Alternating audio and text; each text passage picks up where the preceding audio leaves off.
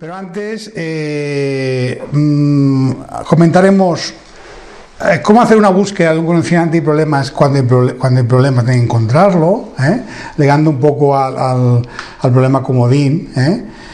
A una aplicación del Ministerio de Sanidad que es el CIE Maps, que tenemos acceso desde la intranet de, de Metro Nord, está, está el acceso, ahora lo explicaré. Cambios que han habido en la codificación de manera automática, que ha sido transparente para nosotros, pero sí que estamos encontrando que hay eh, problemas de salud que ya no los encontramos como tal. ¿Qué ha pasado con el tema del fumador? ¿Cómo queda finalmente? después de unos años de debate y al final ha habido una, una decisión, ¿eh? que puede ser, no sé si es la mejor o la peor, pero ya es definitiva. Y eh, las, los, pendientes de manejo de diagnósticos que aparece eh, ya está en funcionamiento y que os lo vamos a presentar. Bien, imaginaros, imaginaros que mmm, nos viene a la consulta un paciente con los dedos en salchicha, dedos hinchados en los pies, en las manos, y tenemos que ponerle este condicionante y problema. ¿eh? Es un ejemplo, mm, es un ejemplo, pero puede ser bastante ilustrativo. Se trataría de una dactilitis y como tal voy a intentar buscar uh, la palabra, el condicionante dactilitis. Pues pongo DAC, no lo voy a poner todo para no forzar el, buscador, para que intente buscar uh, lo que haya en el, Primero buscar al tesaurus. Fijaros esto que pone aquí, descripción clínica. Lo primero que hace el ECAP es ir a buscar al tesaurus, los sinónimos. Busca uh, lo que empieza por DAC, por DAC, ¿eh? dacrocistitis aguda, crónica, pero aquí no veo dactilitis. ¿Qué opción tengo? O bien eh, salir o bien irme al catálogo. Si voy al, catálogo, que luego iremos, mmm, puedo también eh, volver a hacer la búsqueda. En este caso pondré dactilitis eh, completamente. Eh, pondré dactilitis completamente. Al buscar ya directamente ya no hay ah, tesaurus, ya no encuentra el sinónimo y se va al buscador del CIMDEU.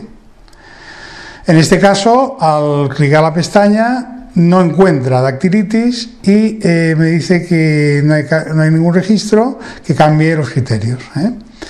En este caso, uh, lo que puedo hacer es irme a buscar los capítulos del CINDEU. ¿eh? Mm, pensar que tampoco tenemos todo el tiempo del mundo y quizás en este momento, uh, si no encontrara nada que me pareciera, podría poner un, comodín y luego ya más adelante poner el diagnóstico y hacer lo que han explicado de la evolución. Bien, uh, si voy a los capítulos, eh, es importante que muestre esta hoja porque normalmente no entramos y vemos que el CINDEU está dividido en 21 capítulos, ¿eh? va por aparatos. Iría a buscar, en este caso, a los códigos que vayan de la M00 a la M99, ya no buscaré todo, porque voy a buscar una patología osteomuscular, ¿eh? no voy a buscar una patología respiratoria. ¿eh? En este caso la búsqueda que pondrá será, será la M y eh, buscaré con el comodín siempre por delante, en medio y por detrás para que me haga, me busque la cadena que tenga una D, una I, una T, una I y una S, a ver si encuentra dentro de la parte del músculo esquelético la dactilitis que vamos buscando. Si para no hacerlo más largo no lo encontraría porque no está descrito como tal, ¿eh? con lo cual ya a, aquí ya tendría un problema. ¿Qué haría? Poner un comodín, por ejemplo, el procedimiento médico, lo que ha explicado a la Elvira, y pondría un comentario, ¿eh? pondría dactilitis. Guardería, veríais que ya lo tengo en la pantalla general de problemas, también la de detalle, de, de seguimiento. Siempre sabré que esto es referente a una dactilitis, ¿eh? para un tiempo posterior. Y ya me podría ir a el CIEMAPS. El CIEMAPS es un buscador que hay del CIDEU, del Ministerio de Sanidad, y para ir a la dirección, o bien poner la dirección en, el buscador de, del Explorer, que es esta de aquí, o bien irme a la intranet de Metronor, la página de la Dirección de Atención Primaria, aderezas de interés, y aquí veis que tenemos la parte de documentos, el CIEDEU en catalán, ¿eh? También es una opción, es del departamento, y eh, el CIEDEU en castellano, eh, que sería el CIEMAPS. También tenemos el, de la OMS. ¿eh? Vamos a presentar el CIE 10 en, del Ministerio, que es muy útil porque la página que nos aparece es esta de aquí. En esta página aquí ponemos la búsqueda que queremos hacer. Es importante clicar a búsqueda libre para que haga la búsqueda al máximo si no sé cómo funciona este buscador, tengo aquí la ayuda, que podría apretarla, que lo explica bastante bien. Y aquí pondría, en este caso, dactilitis. Y ya me empieza a aparecer una serie de, eh, descriptores. ¿eh? Fijaros que, eh, por ejemplo, si clicara, aquí sería una tuberculosis, no sería lo que estoy buscando.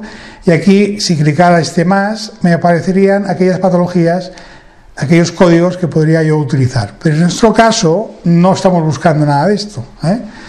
Ya tendría que irme a buscar lo que sería antesopatía, que esto sí que está en el CIDEU. ¿eh? Eso obviamente es un ejemplo, pero fijaros que eh, ya podría poner un código, el M77.8, ¿eh? o podría poner el, el M, M77 e ir a buscarlo. Podría el M77 con el porcentaje y al hacer la búsqueda ya me saldría la fracción del CIE, 10 y aquí yo podría o bien ir a buscar la, altas entesopatías, ya me podría manejar, ¿eh? siempre podría poner eh, el comentario y así podría hacer la búsqueda de un condicionante que se nos... Eh, se nos hace eh, resistente eh, en la búsqueda. A pensar que el CIEDEU son 17.000 eh, diagnósticos, con lo cual es difícil no encontrar algo que, necesitemos.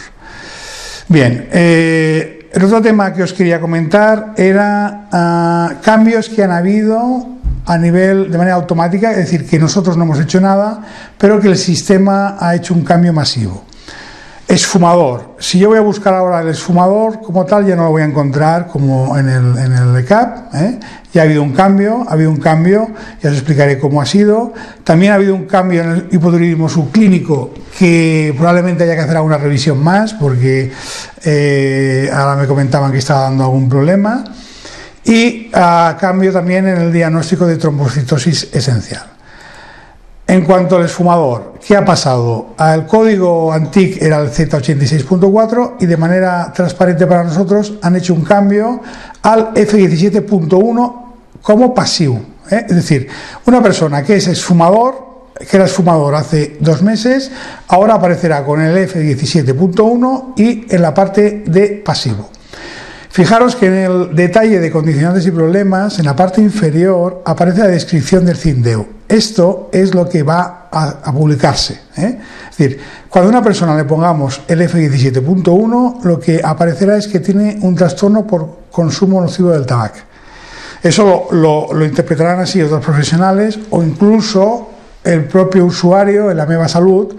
Yo ahora en este momento no sé si se les va a dar un, lenguaje más, eh, más intuitivo, pero probablemente lo que esté viendo ahora, si no es fumador, probablemente sea ah, eh, trastorno por consumo nocivo del tabaco. Bien, ah, en cuanto al hipotiroidismo subclínico, lo que ha habido es un cambio de código. El código antiguo era el E02, que en realidad lo que era hipotiroidismo subclínico por deficiencia de yodo, ¿eh? y se ha ido al E03.9, que es hipotiroidismo no especificado. Pero fijaros aquí, en la descripción clínica, que este código también podría ponerse como hipotiroidismo subclínico, E03.9, es lo mismo que hipotiroidismo no especificado o mixedema. Si os encontráis que en el, traspaso ah, os aparece hipotiroidismo, a clicar el detalle del problema y se podría cambiar a hipotiroidismo subclínico, que es más intuitivo. ¿eh? Pero no obstante, probablemente lo que se haga es también cambio masivo si no gusta la descripción de hipotiroidismo no especificado. En cuanto a la trombocitosis esencial, eh, el código antiguo no, era real, el CIDEU no estaba el que estábamos poniendo y ahora ha pasado al D47.3. En cuanto al tema del tabaco, ¿cómo ha quedado a partir de ahora? Una persona que fuma hay que registrarla con el código F17.1, que es fumador. Una persona que deja de fumar hay que registrarlo con el mismo código ya no existe el código esfumador, es el código F17.1, pero hay que pasarlo a pasivo, porque ya no está activo el problema. ¿eh? Tampoco probablemente esté resuelto, pero sí sería pasivo. ¿eh? Al año de no fumar, en principio, según las guías.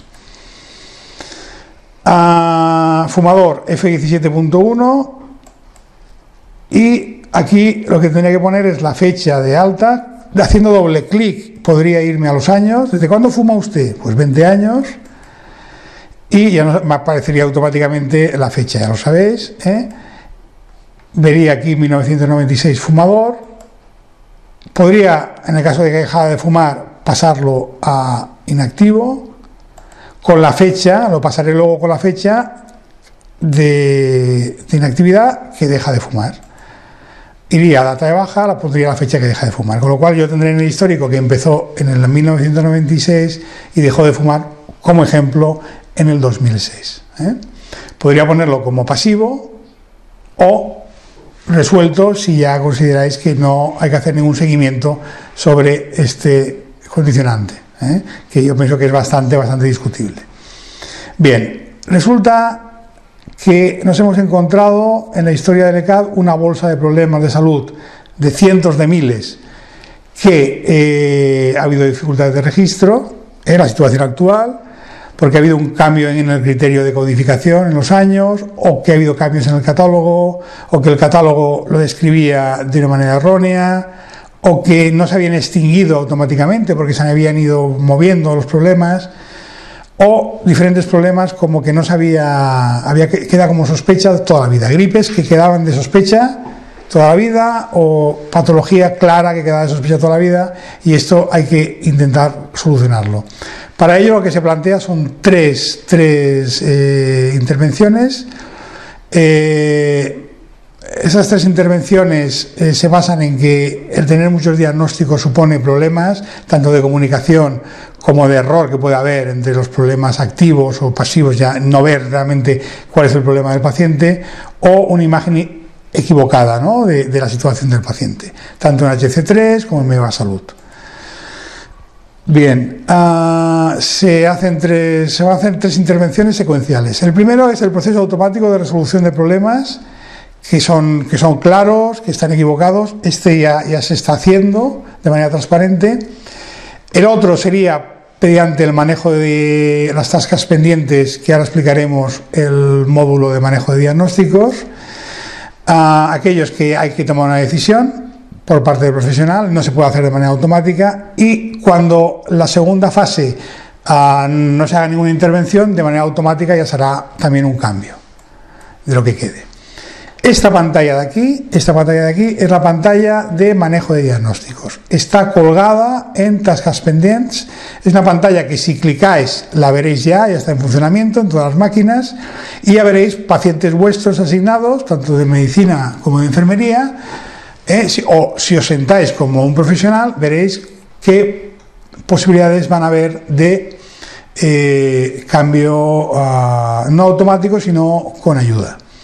Si no se hace nada sobre la pantalla esta que he explicado, esta pantalla de aquí, si no, se hace nada, en tres meses, el 30 del 4, se ejecutará la propuesta que hace el sistema. Es decir, si un profesional no se lo mira, pues en el 30 del 4, pues hará el sistema a la noche esa hará una, los pasará inactivos, los pasará resueltos según la propuesta que haga el sistema. Bien, ¿Cómo acceder a esta pantalla? Pues por tascas pendentes, ¿eh? veis que es la chincheta, y veis aquí un icono que es nuevo, ¿eh? que es el icono de manage de diagnósticos. Es como un folio de copiar con una flecha. ¿eh? Bien, cuando cliquemos el folio nos aparecerá estas tres pestañas. Una pestaña que serían problemas que están en situación de suspita, la otra pestaña sería problemas que están en situación de extinción y la otra pestaña serían problemas que se van a hacer un cambio de codificación. Aquí tenemos que ser proactivos y realizar nosotros una validación. Si no, el sistema lo hará automáticamente y podemos tener eh, eh, sustos y disgustos eh, si lo hace automáticamente. Mm, hay que buscar un tiempo, es una tasca pendiente y como tasca pendiente, pues habrá que dejar un espacio para solucionarlos. La, explotación ah, se ha hecho el 1 de enero de 2016, con lo cual puede ser que hayan problemas aquí que ya estén solucionados y que, que, que hagáis la, la confirmación o, los eh, mantengáis ya están hechos de antes. ¿eh? se hizo una extracción y ahora, porque son, son miles y miles y miles de, problemas de salud, no se puede hacer online, entonces a partir de aquí se hace la, la, propuesta. Bien, pestaña, de sospita, ¿qué quiere decir? La pestaña de sospita, bueno, ya os han explicado antes que siempre que veáis el interrogante quiere decir que hay ayuda. ¿eh? La, pestaña, la pestaña de sospita lo que, eh, lo que nos está diciendo es que estos problemas de aquí están en situación de sospita y si no hacemos nada los van a pasar a situación de eh, confirmación en fecha 30 del 4 del 16. ¿vale? La parte superior serían los problemas de salud. En, cuanto a, eh, aquí veis el código del diagnóstico, la descripción y la cantidad que yo tengo. Por ejemplo, rinitis alérgica no especificada, yo tengo 25 diagnósticos, serían 25 CIPS, con este diagnóstico a, en situación de sospita. ¿Qué puedo hacer? Puedo decir que todas las rinitis me las confirme de golpe, sería una opción, o me las pase inactivo todas, o me las resuelva todas, o me mantenga la misma situación de sospita todas. O irme CIP por CIP paciente por paciente y hacer lo mismo ¿eh? de manera ah, individual. Esta pantalla, fijaros que aquí podría ordenarlo por CINDEO, por diagnóstico, por cuantidad y aquí por CIP, por nombre, por data de alta del problema o la última visita. ¿eh? Es decir, es cuestión de, hay problemas que igual son muy claros, se pueden hacer en global y otros que realmente pues hay que ver uno a uno. CIP a CIP. Si yo clico sobre el condicionante, si yo clico sobre el condicionante del CIP, por aquí, miré a la historia clínica del paciente y podré ver en qué situación está para tomar la decisión. ¿eh? Bien, eh, en cuanto yo haga, ah, por ejemplo, diga que este lo confirme, desaparece ya de la lista y ya no vuelve a aparecer porque ya he hecho la intervención ¿eh? y voy quitándolo. No, no, no aparece cada vez que abra yo a las tascas pendientes. En, cuanto a la extinción, lo que va a hacer es, por ejemplo, eh, el problema relacionado al consumo de tabaco, el Z72.0, si yo no hago nada, lo pasará a resuelto. ¿eh? Si yo uh, decido que los quiero pasar inactivo o, quiero dejarlos como estaban, pues, eh, pues lo, puedo hacer. Pero lo que hará será pasarlos ya a resueltos, que ya no se publiquen y ya se acabe allí el, el problema. En cuanto al tema del cambio de codificación, es una pantalla un poco diferente a la de sospita y a la de extinción. Esta pantalla ah, lo que hace es problema origen, problema que van a realizar el, cambio, ¿eh? el estado en que está actualmente, que sería activo, y la propuesta que hace de pasivo. ¿eh? Entonces, eh, la pregunta que me hace es, ¿quiere usted, por ejemplo, problemas relacionados con el consumo de tabaco que están activos, pasarlo a problema por el consumo nocivo del tabaco a pasivo, hacer tomar la decisión y lo cambias o lo mantienes. O por ejemplo, eh, tumor maligno de ellos contiguos a la vulva, ¿eh? como activo, pasarlo a trastorno inflamatorio de la vulva y el perineo esto es curioso porque hay un problema de codificación. Si os metéis en este diagnóstico, resulta que probablemente son a veces de, la SIR y efectivamente son, no son tumores malignos, sino son inflamaciones. Es decir, que esto ah, hay que mirárselo, pero cuando veáis eh, que no son muchos, eh, pero hay que revisarlo. Eh. En cuanto al tabaco, fijaros que el problema de salud Z72, eh, la propuesta que hace es cambiarlo por el F17. Es decir, ya está preparado, aunque ya se ha hecho ah, transparente, pero ya hay una propuesta por si quieres mantenerlos o volverlos a una situación anterior. Bien, eso sería ah, la visión de lo que va a venir, que ya está en función, en funcionamiento, y se tendrá que hacer una revisión como, como tasca pendiente todo el tema de, diagnósticos. Bien, eh, dejaríamos aquí para hacer las preguntas que tengáis en el chat, eh, las contestaremos y tenemos, nos quedan, ah, me parece que son 10 minutos lo que nos queda. Esperamos a ver qué preguntas van, cerramos el micrófono, esperamos 3 o 4 minutos a ver qué, qué dudas hay.